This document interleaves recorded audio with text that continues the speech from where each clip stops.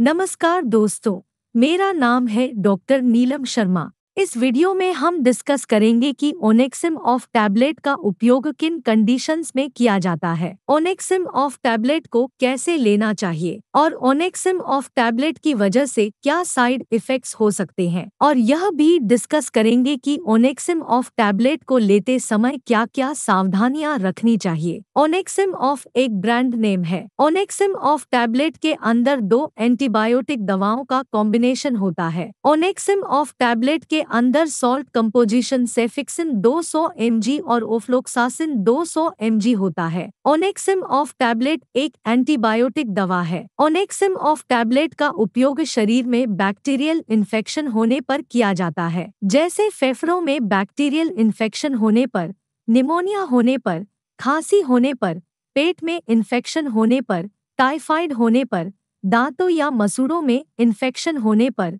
जोड़ों या हड्डियों में इन्फेक्शन होने पर, पेशाब में इन्फेक्शन होने पर और कान, नाक, गले या त्वचा पर इन्फेक्शन होने पर डॉक्टर ओनेक्सिम ऑफ़ टैबलेट को लेने की सलाह दे सकता है। इसके अलावा त्वचा पर कोई फोड़ा फुंसी होने पर, त्वचा पर कोई घाव होने पर या त्वचा पर कोई इन्फेक्शन होने पर भी डॉक्टर ओनेक्सिम ऑफ़ टैबलेट को लेने की सलाह दे सकता है। शरीर में इन्फेक्शन होने पर बुखार हो सकता है। इसलिए बुखार होने पर भी डॉक्टर ओनेक्सिम ऑफ़ टैबलेट को लेने की सलाह दे सकता है। इसके अलावा भी बहुत सी ऐसी कंडीशंस है, जिनमें आपका डॉक्टर ओनेक्सिम ऑफ़ टैबलेट को लेने की सलाह दे सकता है। दोस्तों, अगर आपको वीडियो पसंद आ रहा है तो कृपया वीडियो को लाइक करना व चैनल को सब्सक्राइब करना न भूले। साइड इफेक्ट्स की बात करें तो वैसे तो ज़्यादातर व्यक्तियों में ओनेक्सिम ऑफ़ टैबलेट की वजह से कोई साइड इफेक्ट्स नहीं होते। हैं। लेकिन कुछ परसेंट व्यक्तियों में ओनेक्सिम ऑफ़ टैबलेट की वजह से कुछ साइड इफेक्ट्स हो सकते हैं। जैसे उल्टी आना,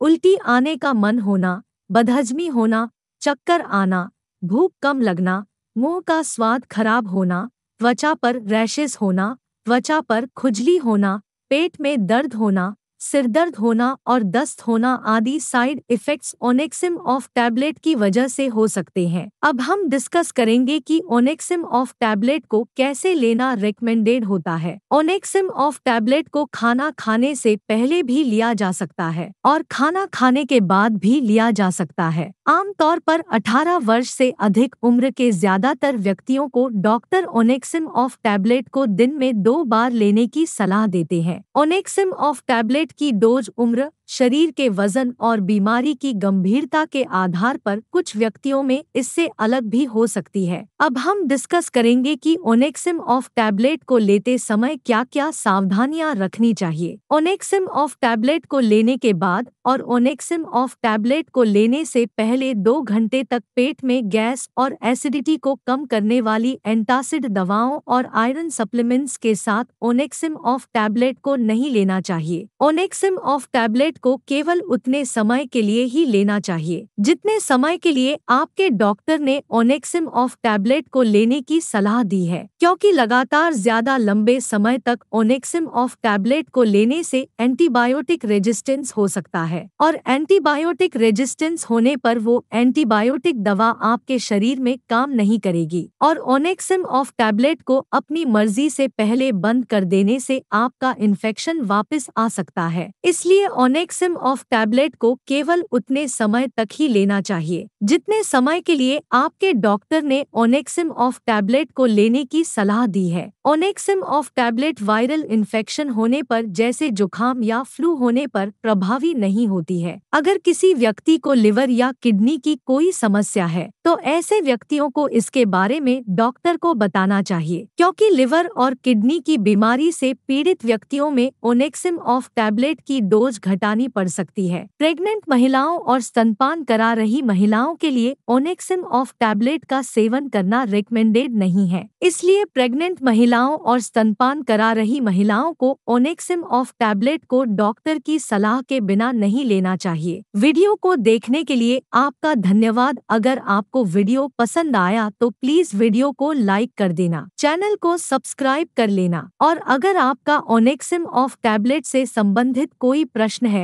तो आप कमेंट करके पूछ सकते हैं।